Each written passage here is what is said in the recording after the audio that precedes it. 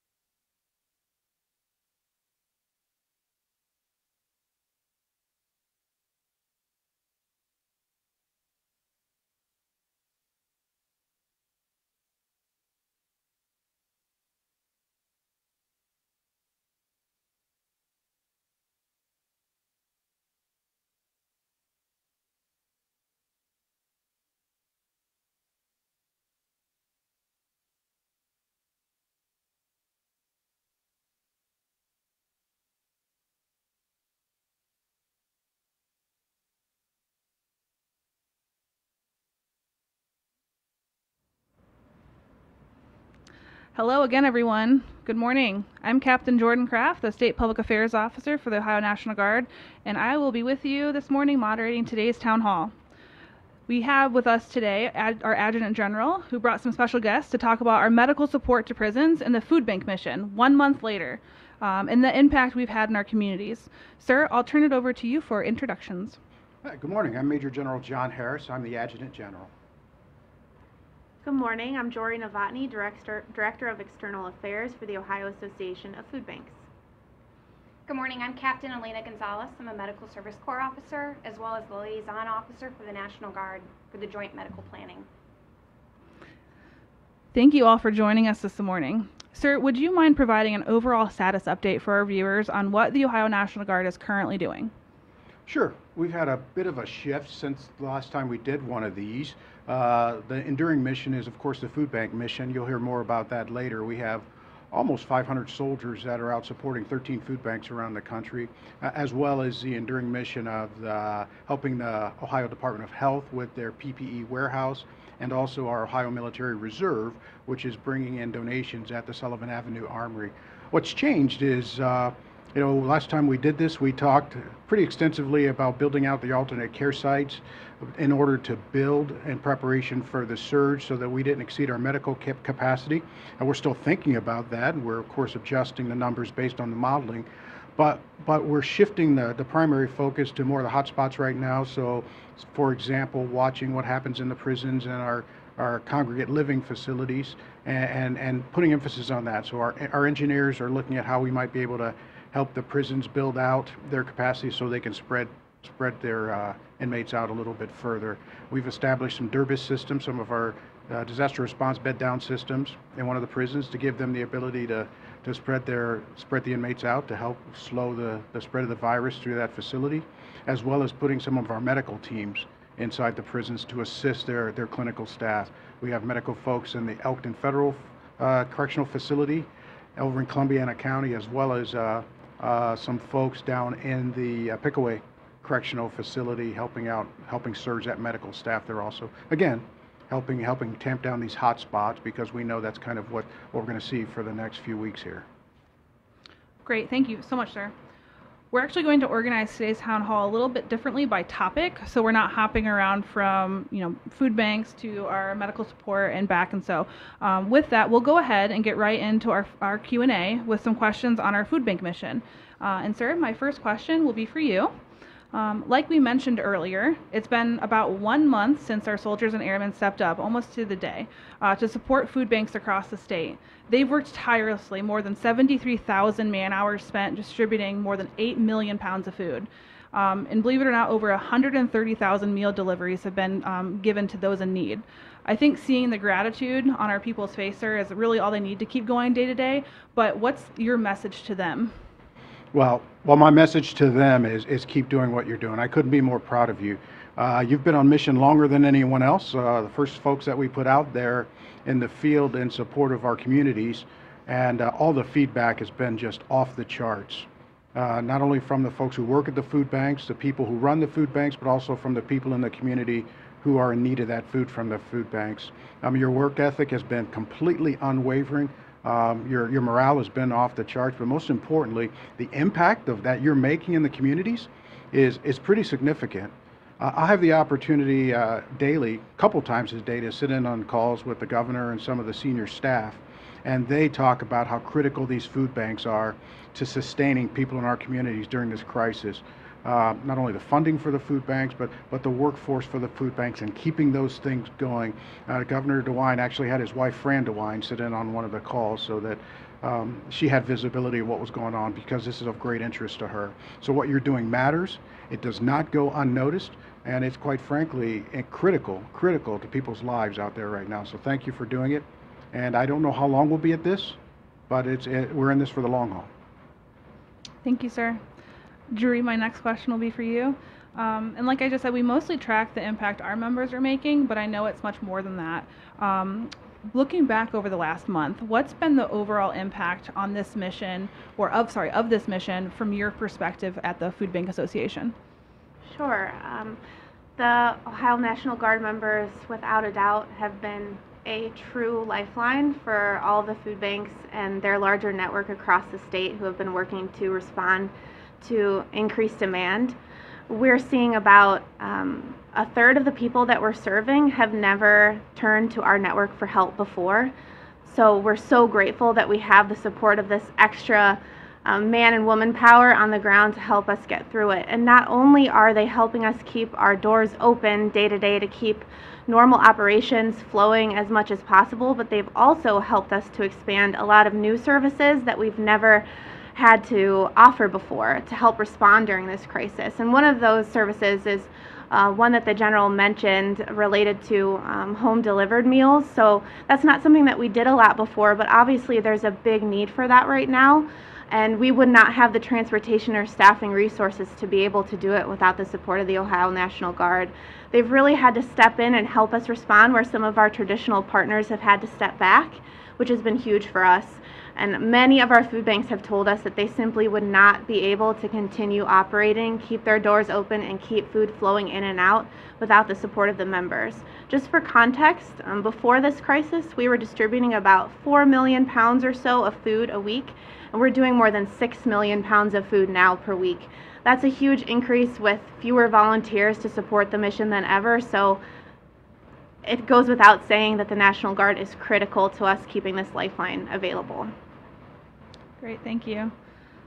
Sir, there's still um, some seems to be some people who um, may be cautious or confused when they're seeing our uniform people at food banks.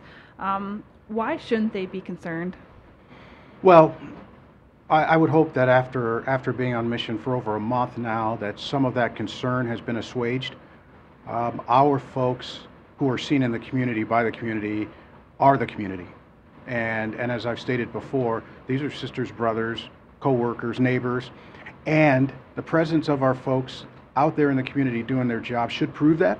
There should be absolutely no doubt that what they see is what they're getting, that we're not here to impose any sort of martial law or carrying any weapons.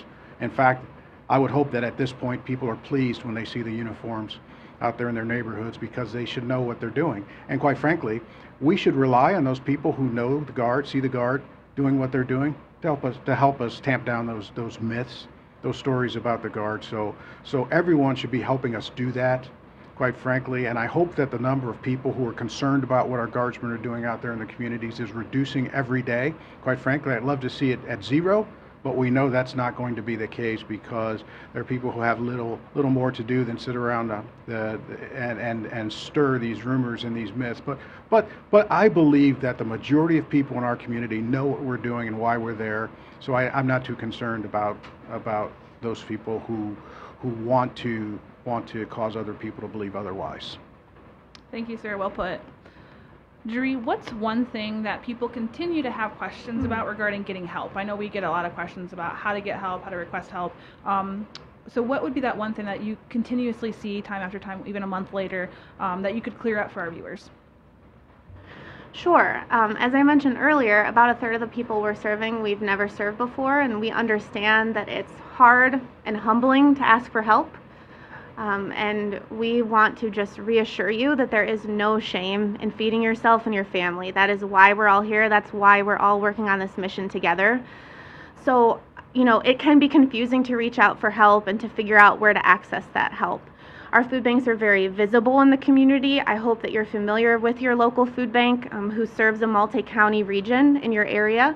If you're not, the easiest way to find out more is to visit our website at ohiofoodbanks.org forward slash coronavirus.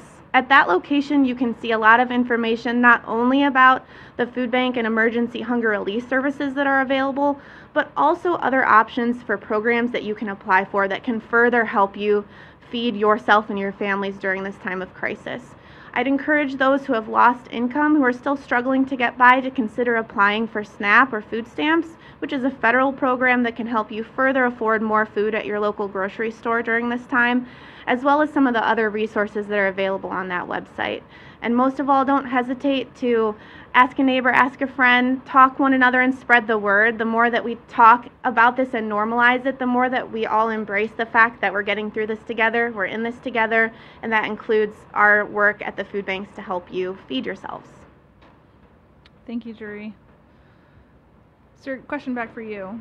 Um, with Ohio opening back up soon, how long would you estimate that our soldiers and airmen might be supporting food banks as we move forward together as a state? I wish I knew the answer to that question. And it's a, this is a kind of a cascading uh, course of events here that are going to determine that.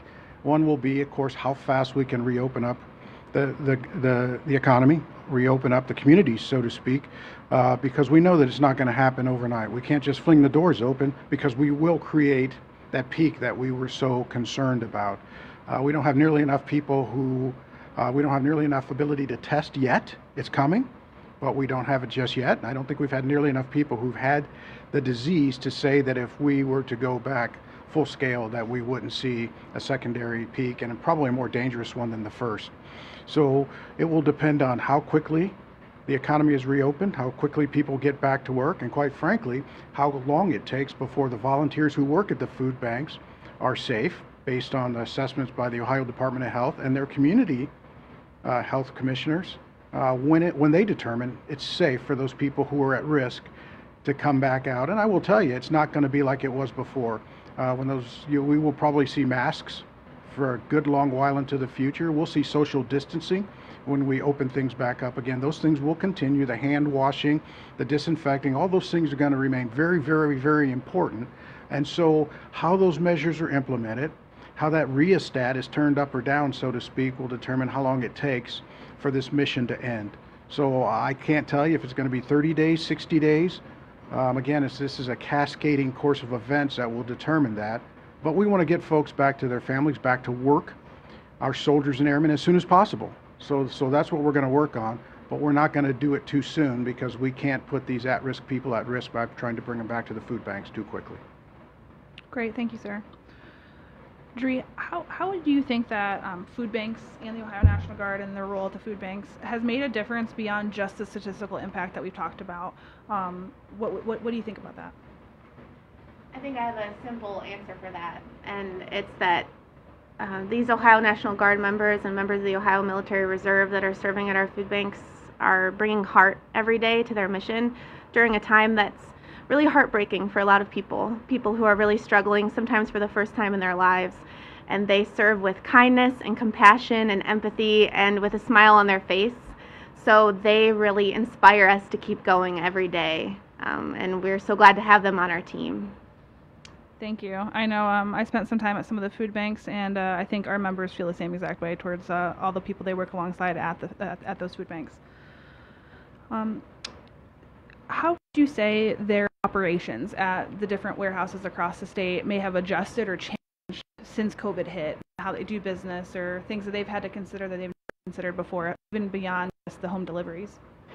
Yeah, we've had to change about everything we do in our operations in the course of about five weeks here. So before the Ohio National Guard was deployed about a month ago, we were already quickly changing over how we were doing a lot of distributions. Before all of this, we had um, um, nearly 2,000 food pantries across the state who normally serve through um, grocery style settings where people can for the needs of their families that meet cultural preferences, their dietary needs and restrictions, um, to largely shutter those um, to protect the health and safety of not only our clients but also our volunteers and staff. So I mean, they're still operating out in their communities to provide food, but they're doing so in alternative ways. Rather than inviting clients inside to their pantry, they're largely pre-packaging food, pre-boxing food. Many of our banks are doing mass drive-through distributions to try to fill a lot of the gaps that are left in our community. Some of those gaps are ones maybe that some folks aren't familiar with. We know, of course, that K-12 schools remain closed, and while local schools are doing um, yeoman's work to try to replace those meals, we know large gaps existing throughout the state um, where those meals aren't being replaced. In addition, we have a lot of childcare facilities right now that are closed, as well as senior centers and other um, centers where people living with disabilities, for example, normally congregate and, and enjoy meals together. Um, a lot of those populations aren't able to access meals through, through those traditional locations. So um, in large, we're doing a lot to try to replace those gaps, and we're doing so in no contact ways.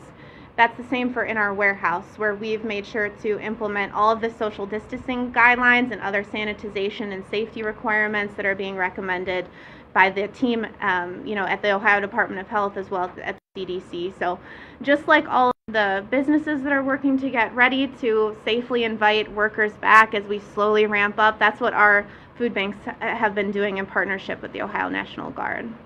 Thank you so much, Joree.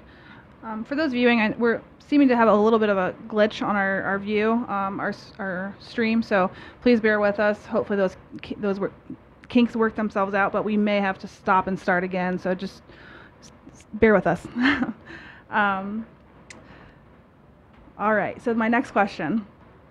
Sorry, I have another one for you, Joree. It's going to go right back to you. Sure. Um, speaking of those operations, um, like I mentioned earlier, I've been at some of the food banks. Actually, on Tuesday, was just at the Dayton Food Bank, um, which was a huge success. They had actually been able to serve 4,500 people and nearly 1,400 households, um, which is just really phenomenal. Um, for those who may not be aware or, or even embarrassed to ask the question, um, can you reiterate? I know you mentioned earlier how they could receive food. Um, are they required to register? I know that's a question that we've gotten quite a bit. Um, and where could they find out about drive-through distributions? Sure. Yeah, normally, um, before this crisis, a lot of our food banks themselves weren't doing a lot of the direct services. So they weren't distributing food to thousands of families like they're doing now. They were instead distributing that food to local partners, local churches, after school programs, senior centers, those kinds of places where people could access food more regularly in their local community. And as some of that system has had to deteriorate and shutter temporarily and suspend services, you're seeing a lot more food being distributed through our mass drive-through distributions that our food banks are putting on. Um, we're doing that for the interest of no contact, um, no person-to-person risk of community spread in providing that food. Um, and we're trying to do it in the most effective way possible. So we're relying heavily on our Ohio National Guard partners as well as partners with local public safety, a lot of our local police departments. Um, I know the Ohio State Highway Patrol has been helping in some of those situations. I know it takes some patience. I know that folks are waiting in long lines. It's not ideal for any of us, but we feel like it's the best way that we can work together to be most efficient to serve the most people. And with that said, it's not the only place that you can access help. There are also many local pantries that are remaining to are continuing to serve you. Um, but if you're not familiar with them, I know that the food banks are most visible. Um, so you please don't hesitate once again to, to reach out and ask for help. You're not alone. There are many who are doing it for the first time. We understand again that it's difficult. We want you to know that it shouldn't be because like I said, there's no shame in feeding yourself and your family. So we're here to help you with that. I'll just mention our website one more time, ohiofoodbanks.org, where you can find more information about services available near you. Thank you, Joree. Um, something that kind of hit home um, that I heard at the food bank last uh, earlier this week was uh, it's better to have food on your plate than to be hungry. Um, so I think that's it really resonates for, for hopefully a lot of people. Um, General Harrison, my, my, my last question on the food banks uh, is, is for you. Um, something that I've been seeing a lot of our members asked is how our mission at home here, um, supporting the food bank, may be similar to um, a mission overseas. Um, could you expand on that? Well, before I talk about the mission, I'd like to talk about just the nature of, of serving. Because service is truly about the relationship between the leader and the led. And leadership doesn't change, whether that's, whether that's in theater, Iraq, Afghanistan, Kosovo, Guantanamo Bay. The, the, relationship between the leader and that person that, that, those people that that leader leads is the most essential element to accomplishing any mission. And that doesn't so, so we know that if we have soldiers, airmen, military reservists who, who understand how to receive a task and a purpose, are empowered with, with the tools they need and the space they need and the latitude to be creative to get that done, they're going to get it done. And it doesn't matter what that mission is, whether that's putting artillery rounds downrange or flying F 16s uh, in support of troops on the ground, regardless of what that mission is. If we have leaders who understand how to visualize the mission, communicate that mission, give their subordinates task and purpose, and the latitude to get the mission done, they're going to get the mission done. And that's, that doesn't change. Again, food banks or deployment to theater, it doesn't matter. I think that our folks have, have demonstrated that. Um, our, our, our uh, success, the productivity of the folks in the food banks has been by some of our most junior people. Some of our sites are led by some of our most junior people, again, who understand the task, they understand the purpose of what they're doing, and they're enthusiastic about doing that. That gives them that intrinsic, that intrinsic successful feeling of being a part of something that's, that's greater than themselves. Um, that's, that's the most important thing. Trust between the leader and the led and the ability to let folks and empower, empower soldiers and airmen to get the mission done. And, and the second thing is, the great thing about the National Guard is that not only do they bring their military skill set to the table, but they also bring their civilian skills to the table. So while a person may be a, an, a mechanic, a wheeled vehicle mechanic in, in the National Guard, they could very well work in the food service industry in their civilian jobs. So they bring that entire skill set, a double skill set, so to speak, to the, to, to the, to the response. And that gives us so much agility and ability to adapt and create and solve problems, which is exactly what we see happening out there. So, again, I couldn't be more proud uh, of our people, not just in the food banks, but on all the missions that we're doing right now, because they've they've adapted and they've overcome and they've persevered. And again, we don't know how long this mission's going to be, and nobody has whined one bit about that because everybody's all in to make sure the state of Ohio comes out the best that we can at the end of this thing. Great, thank you, sir. So that actually concludes most of our questions on the food bank's uh, support mission. So we're going to transition into the, the, the medical support being provided at uh, various correctional institutions around the state. Um, and my first question on this is to Captain Gonzalez.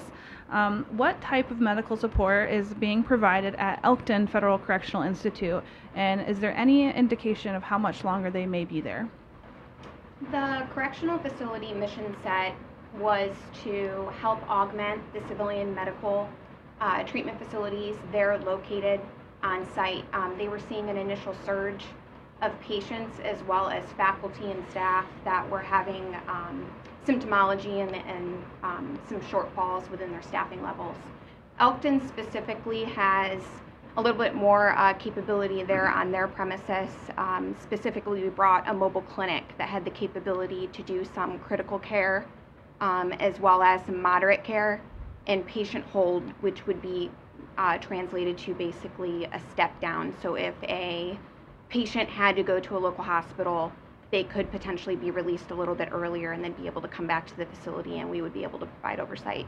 So we've got military medical professionals there at that facility, um, physicians, nurse practitioners, physician assistants, nurses, as well as our medics Thank currently you. located at Elkton. Thank you. What about Pickaway? Pickaway's mission, um, they specifically asked for medics, and so we have approximately 20 medics there. And their primary mission is to conduct assessments. Assessments would be um, basically looking at symptomatic and asymptomatic individuals that were potentially exposed within a given population to see if they are starting to have symptoms such as a fever, um, respiratory issues, flu like stuff. Thank you. Um, and then any other support being provided that you uh, could speak to? Um, besides the assessments and the mobile clinic, um, it's just the overall healthcare picture. Great, thank you. Um, General Harris, my next question is for you. Um, why would you say there's such a need for support at those prisons, and why and, and the Ohio National Guard supporting that? Well, well, first and foremost, the prisons are congregate living facilities. Uh, you have large cohorts of people who are living in, in close proximity to each other, and uh, that in, a, in and of itself creates challenges for a pandemic like this. It is just, it is inherent to the nature of, of the of the facilities. So, uh, what's important is is ensuring that we provide the best protection. And I will tell you, Director Annette Chambers Smith is doing a fantastic job bringing the right people around the table with her to solve this problem.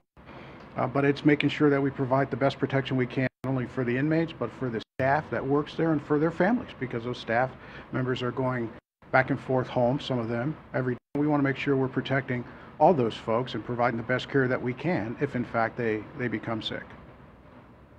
Thank you, sir. Captain Gonzalez, I'm going to go back to you. Um, what type of specific medical support is being provided at um, correctional facilities?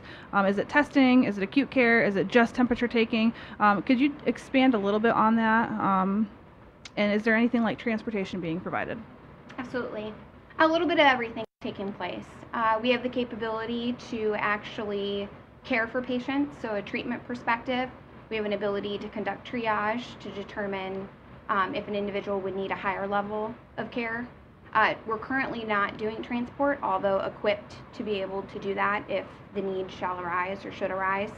Um, and then also, um, the biggest thing is assessing the current population that are asymptomatic that have had a potential exposure to somebody that is symptomatic. And so, just making sure that everybody is, is doing well. Great, thank you. Um, and I have a, a, a back-to-back question for you, Mhm. um, and it's actually two parts. Um, I know that some terminology can be really confusing as it relates to COVID-19 um, and, and symptoms and all the different medical terms that follow suit. Um, could you explain the difference between quarantine and isolation for our viewers? Absolutely. Quarantine would be is if you've had a known exposure, but you're currently not presenting any type of symptoms, which would be the high fever, the respiratory illness, the flu-like feelings. Isolation would be you're actually actively presenting symptomology, um, high fever, not feeling well, flu-like symptoms, and you would isolate yourself from others. And then, depending upon the severity of those sym- symptoms, it would potentially require an escalation in care. But more often than not, if you self-isolate um, and you're overall, in, you know, you're overall in pretty good and healthy condition, you should be able to, in about 14 days, start feeling pretty better. Thank you. I think that's an important distinction between the two. Definitely. Um, so, so with that, um, what type of safety and health measures are our medical soldiers and airmen taking to keep them safe while they're on mission? Our healthcare providers, military healthcare providers, are well versed in the appropriate wear of their personal protective equipment, and they're fully equipped with those um, when treating patients. Uh, it would include your N95s and being uh, fit tested. It would be any type of goggles or eye protection, Tyvek suits, gowns, gloves, um, the whole bit in order to ensure that they don't leave themselves at risk to potentially contract contract the illness. Great, thank you. I know our safety is our number one priority when we're on mission. Absolutely. Um, General Harris, my next question is for you. Sure. Um, how is the physical safety of our members being addressed while they're supporting um, ODRC and the mission at the prisons? Well, it's important to point out that for this mission, our soldiers and airmen that are working in these facilities or will be working in these facilities um, are are secondary. They're in support to the Ohio Department of Rehab and Corrections, ODRC. So we follow their guidelines and we rely on them for the physical security of our folks inside these facilities. Now, each person go or each person goes through pretty significant training before they before they go there. Um, we're not going to put folks inside one of these facilities not understanding what they're getting into, but our medical providers, um, they receive training from the Department of Rehab and Corrections on everything from donning and doffing the right PPE, which they already know how to do, but we want to make sure that they've got the right training. But we're not in the business of running prisons. We're not in the business of even running the medical sections or medical divisions for prisons. Our job is to provide support for the people who are there and that's what we go there to do. So we rely very heavily on them for not only the the guidelines on how to interact with the inmates, but also the physical security of our people when they're inside the, those facilities. Thank you very much, sir. Captain Gonzalez, um, a question back for you. Um, the spread of the virus is, is a big concern within correctional institutions because of that congregated living. Um, how is the Ohio National Guard helping to mitigate that spread um, by supporting their medical staff? Uh, the biggest part is identifying individuals that have symptomology early and being able to care for those individuals and place them in a potentially a different location within that facility. I would say the second big thing is individuals that don't require a higher echelon of care, um, keeping them there and treating them to limit the exposure of others. So those are your two big rocks: is identifying who's been exposed, who potentially has symptoms, and trying to care for them on site as opposed to moving them to different locations and exposing a lot of individuals. Thank you. Ma- Jen- Could I add to that for of just course, a moment? sir. Of course. There, there, there are so many things that are happening inside these facilities, and I think it's important to understand that that when you see the elevation of numbers, particularly coming out of the prisons, it shouldn't be as concerning as it may be to you, simply because the testing, the the, the percentage of the inmates that are being tested inside the uh, Ohio's prisons are pretty significant. It's very important to understand that that so many people who have this this illness are asymptomatic. They don't have any indication that they have the illness. So particularly inside the congregate living facilities, testing, particularly of the staff as they go in and out, is very important. And there's a lot of that happening. And of course, when you test more, you're going to see higher numbers. But it's also important to point out that there's so many other mitigating measures that are happening inside the walls of those prisons. For example, us establishing the tents and the out, out the uh, exterior facilities tents, uh, shower facilities, bathroom facilities, so that they can spread the inmates out. Uh, but they're also doing things like looking at the HVAC systems inside the system. How should they modify the HVAC systems? How should they be um, just sleeping sleeping the inmates head to toe to create that spacing between the respiratory systems? Just really, really innovative things like that. They have environmental engineers who are who are looking at what's happening inside. They're looking at they've got epidemiologists that are being that are being tasked to support nothing but the correctional facility. So there's a lot of good work and innovative work being done inside our, our, our prisons to make sure that we are we are checking the spread of this coronavirus and making sure that the folks who who are tested positive or showing symptomology get the best possible medical care that they can get. Great, thank you, sir. And I do have a question right back for you. Um, I know we talked about how many soldiers we have supporting the food bank mission earlier, but um, approximately how many current members are supporting the prisons and the medical support mission going on there? Well, the medical support mission, we probably have 50 soldiers, airmen supporting that mission, but we also have other soldiers that are doing things supporting the prisons. Uh, for example, as I mentioned, setting up setting up that deployability, that deploy that disaster response bed down system um, is very important. Again, creating creating non-traditional space so that so that we can spread the inmates out, and, and also doing engineer assessments inside the facilities, um, helping them use non-traditional space, gymnasiums, and and uh, schools, for example, to spread those prisoners out. Non-traditional housing spaces used for housing, and what sorts of things have to go into doing that. So our, our engineers are are very involved with that, in addition to the medical folks who are on mission inside the facilities. Great, thank you, sir. Captain Gonzalez, I have a question um, back to you. Um, what happens if a member that's providing patient care uh, at the prison may start feeling sick? Absolutely. Um, so the health and the welfare of our service members is our number one priority. And so if they begin having any type of symptoms, depending upon what type of symptoms that they're having, we would ensure that they received prompt medical care um, in order to be evaluated, and then at that point determine what potentially they could have been exposed to, and then determine the next steps from there based upon Ohio Department of Health and CDC guidance. Okay, great, thank you. Um, and as we wrap up our, our, our Facebook Live here today, um, sir, my next three questions are going to be back to back for you. um, what would you say is the most important aspect of our support to prisons in Ohio? Well, the most important aspect is is is meeting the need. It again, it's we're in support of direct Department of Rehab and Corrections, and one of the greatest things about the Ohio Guard is that we're we're a very large guard and we have a lot of capabilities.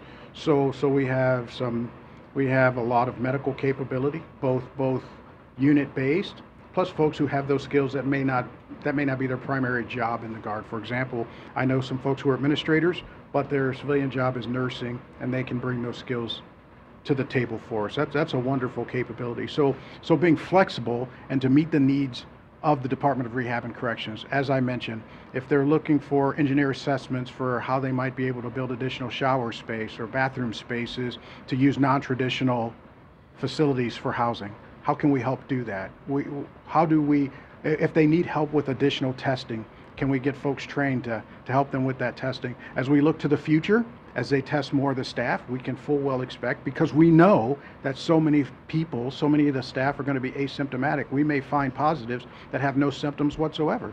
How do we backfill that staff and, in the facilities? Those are all potential missions that we're looking at. So I think the most important key is just flexibility and bringing the right skills to bear for whatever it is that the director there needs. And we have that. We have that.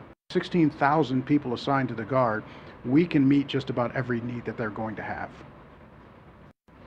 Great, thank you, sir. Um, so pretty much helping where help is needed. Helping where help is needed. That's, that's, that's what I meant to say. you said it perfectly, sir. Um, one thing that you've mentioned a couple times, and as we've been talking about the, the medical support mission at the correctional institutions, is um, that we're trained for trained and ready for a multitude of diverse uh, missions as as the requests flow in. Um, and there's been a lot of support provided so far. And one of those unique capabilities that you discussed was the DERBIS, what we call the Disaster Relief Bed Down System, um, and that was recently constructed at Pickaway. Um, what is that for our viewers that may not know what that Disaster Relief Bed Down System is, and how will it support the prison? Well, it, it, it's one of the one of the best kept secrets uh, in the National Guard I've discovered, and the, the DRBS is, as you mentioned, a disaster response bed down system, and a, and imagine a tent city. So we bring in these Alaska ti style tents. They're uh, they're rubberized canvas style tent with with with rubberized canvas floors, and we establish these, but they come with all the life support stuff that's also needed around that. So, for example, if we were to go into a very austere environment, like we just did, uh, we delivered these to Puerto Rico in the response to the earthquake. They, they come with not just the shelters, but they come with shower facilities. They come with bathroom facilities. They come with power generation systems to, to power these small cities. They come with uh, heaters or environmental control units so that we can manage the, the heat. We can control the heat, the temperatures inside these facilities, and, and all the stuff that goes with it, the generators and, and, and a few people to operate them. So if you can imagine uh, just a complete austere environment, and within a couple days, an entire tent city that's self-sustaining showing up. That's what the DRBS is. Why is that important in this type of mission? Because we can we can establish that very quickly and create very very fast living spaces for the Department of Corrections. That that is for the most part self-sustaining. Now we were able to tie some of their systems there down in Pickaway County, but we can bring this entire self-contained city, so to speak, to bear very quickly. And in fact, we brought it back from Puerto Rico specifically so we could have it on standby for this type of mission. So it's incredibly versatile, incredibly flexible, and it's an amazing capability for this kind of disaster. Great, thank you, sir. Um, we did get one question from our live feed that I thought maybe Captain Gonzalez could answer regarding um, our soldiers that are in support of the medical mission. Are they required to wear their PPE at all times while they're within the facility? Um, within the facilities, they're operating under the notion that anybody and everybody um, is a suspected COVID positive. Therefore, they're taking all the necessary precautions to ensure that they um, are protected. Thank you so much for answering that one. Definitely. Um, sir, our last question. Uh, earlier, you had mentioned when we talked, our last town hall was um, on building the medical capacity. Um, just to give a up and, and, and look back at that mission and, and how we're still supporting that, um, for those alternate medical care sites that were identified, are, are joint engineering assessment teams still supporting those? Um, are they on hold? If so, um, could you explain why that might actually be a good thing? Well, they're not they're not completely on hold. The answer is yes. We do have engineer assessment teams that are still working around those sites, and some will ask why. If we've already if we're already flat flatten the curve and we haven't exceeded our medical capacity, um, but we still have to ensure that we're ready for a second peak um, or even a third. That we know is not uncommon with pandemics, but the mission has evolved pretty significantly. Uh, the nice thing about flattening the curve is that it creates space and time And that created that gave our hospital systems the, the maneuver space to be able to make different kinds of decisions. So in other states you saw huge build outs, convention centers, for example, like the Javits Center in New York. Uh, our hospitals were able to look internally and build out additional spaces. Again, non-traditional spaces, what we call soft spaces. So by doubling up rooms and uh, beds in hotel rooms, or in, in the case of uh, Cleveland Clinic, they took uh, an education center, a health education center, a, a school basically, a health education school, and turn that into a care facility. So they were able to take those internal soft spaces and create a lot of surge capacity without having to build uh, new stuff, and that's happening all over the state. So, so while we're still in the business of making sure that we have surge capacity, it looks very different than we thought it was going to look. And the other thing is, yes, we are still building out some of those alternate care facilities, again in preparation for a secondary or a third, a third surge, uh, but but they're smaller. We've scaled them back. Uh, we're putting them in what's called a warm status so that we have the language for the leases in place, we have language for contracts in place, and all those things. We're just not executing those. So we have these insurance policies, as I call them, uh, to be prepared for surges, but we're not, we're, we're, we're being good stewards of resources and we're not executing anything that we don't absolutely have to execute to be ready for that. I, I liken it to, to our medevac pilots. You know, they go through the entire startup checklist and then they shut the battery off so that if they have to use it, they turn the battery on, they hit the starter, and they're ready to fly. That's kind of what we're trying to create here with these alternate care sites. We, we, we don't know if we're going to need the capacity because no one has a crystal ball. Uh, we're following the best modeling that we have, and we're being good stewards of the resources while still making sure that we're ready in case there's a surge. Thank you, sir.